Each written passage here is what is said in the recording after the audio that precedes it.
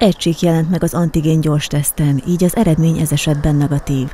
Egész november 30-áig várják a hegyvidéki polgárokat koronavírus szűrésre a Böszörményi úton kijelölt ideiglenes rendelőben. Regisztráció nélkül munkanapokon 9-től 4 óráig van lehetőség az ingyenes COVID szűrővizsgálatra. 2000 tesztet kaptunk a Szent Ferenc kórháztól erre a célra.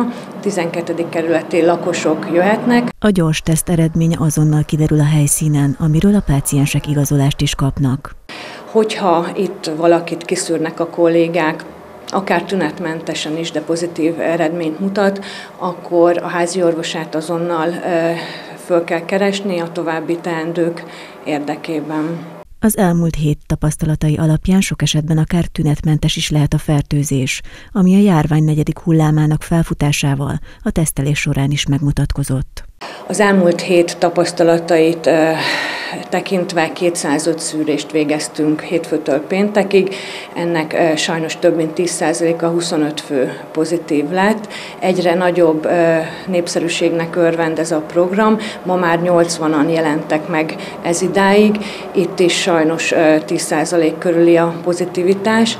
A vírus elleni védekezés érdekében november 22 és 28 között oltási akcióhetet tartanak a kórházi oltópontokon, melynek során az egészségügyi intézmények megemelt kapacitással, többféle vakcinával várják a lakosságot.